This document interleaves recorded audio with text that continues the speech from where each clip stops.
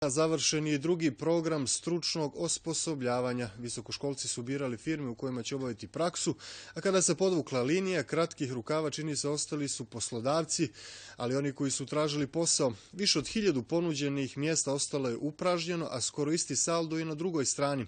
Neraspoređeno je 900 visokoškolaca, jer za njihovu stručnu spremu nije bilo interesovanja. Sagovornici Aleksandre Duba kažu da se na ovaj način najbolje vidi nesklad između ponude i potražnje na tržištu rada. Spisak uparenih visokoškolaca sa poslodavcima kod kojih će od sredine januara obavljati praksu objavljen je na sajtu elektronske uprave. Nemanja Rajičević, diplomirani farmaceut, jedan je od 3.500 studenta koji je raspoređen u prvom krugu. Ja sam zadovoljan, to je moj prvi izbor i malo je više opcija, konkretno sedam. Program je zamišljen da korisnici biraju poslodavca. Međutim, Centar za zaštitu i proučavanje ptica dobio je baš one koje je priželjkivao.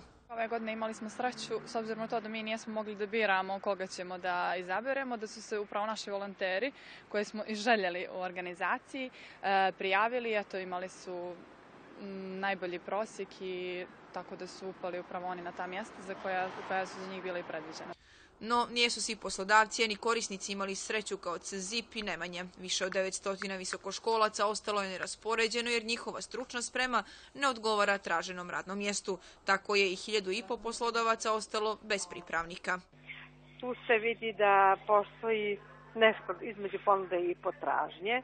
Za sada i prema zakonu i prema pravilniku nema mogućnosti uvođenja drugog kruga.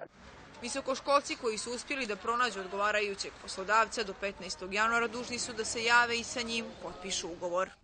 Što se tiče poslodavaca koji su se prijavili za program stručnog osposobljavanja, dužni su da naprave program osposobljavanja lica sa visokim obrazovanjem koji su stekli pravo da kod njih steknu iskustvo i da sa njima sklope ugovor. Nakon isteka devetomjesečne prakse, poslodavac odlučuje da li će ih prevesti u radni odnos ili se njihova saradnja tu i završava. Program stručnog osposobljavanja podjednako je koristan za visokoškolce, ali i poslodavce. Otvara se mogućnost onima korisnicima programa da nakon toga nastave možda svoj posao u centru. Kolika je mogućnost i vjerojatnoće da ostanu nakon ovih devet mjeseci? Velika. Iskreno se nadam i volio bih da ostanem, pošto je to moj, bio moj prvi izbor. Visokoškolci koji su preko programa raspoređeni kod željenih poslodavaca praksu će početi polovinom januara.